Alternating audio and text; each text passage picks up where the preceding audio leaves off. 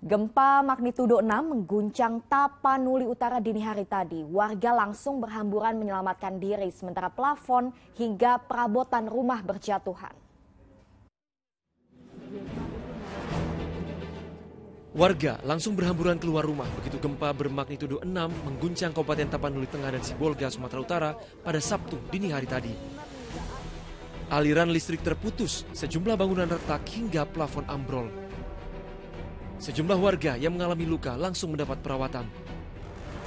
Gempa susulan dilaporkan masih terjadi hingga Sabtu pagi. Gempa bumi ini tidak berpotensi tsunami.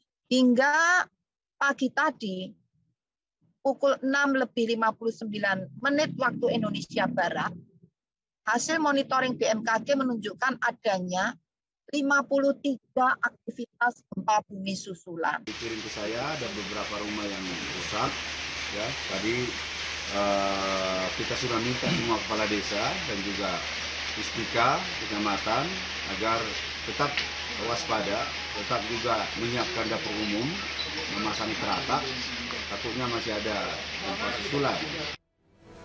BPBD setempat masih terus mendata jumlah korban maupun kerusakan akibat gempa bumi ini. Tim Liputan TV melaporkan.